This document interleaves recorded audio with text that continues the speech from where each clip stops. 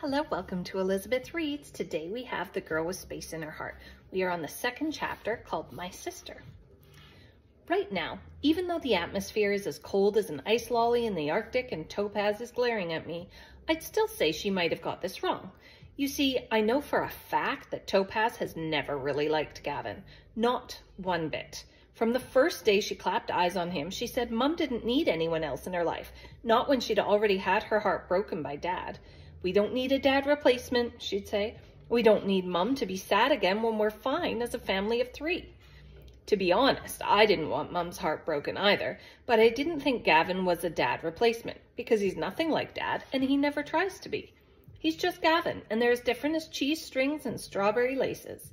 And I like how they're different. I like cheese strings, but I like strawberry laces too, and that's okay. Once I got to know Gavin, I knew I definitely wanted to give him a chance because his heart is big, bigger than the Milky Way. I didn't think he could be capable of breaking anyone's heart.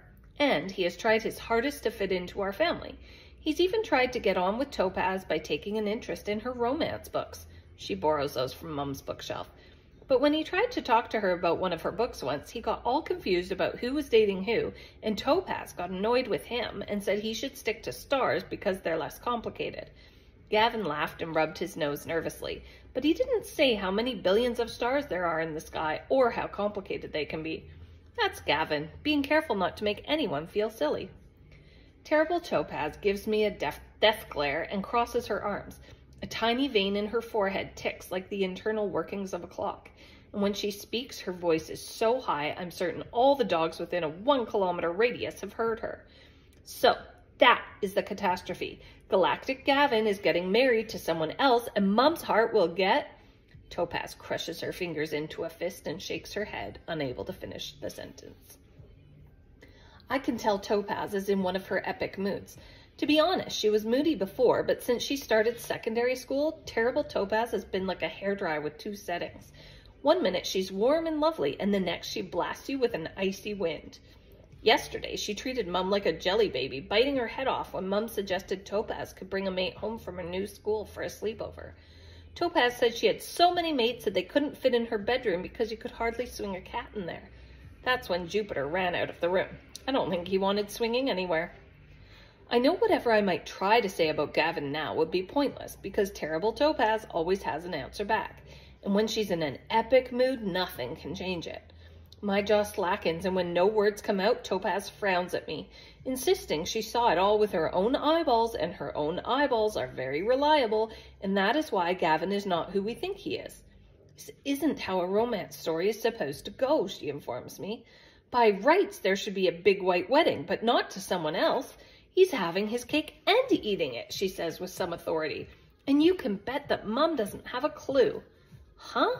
I blink, having no idea why Topaz is talking about cake now. Meanwhile, Topaz's hands are flapping around like a flag in a storm, and she eventually announces, we don't need him, we're enough to make Mum happy.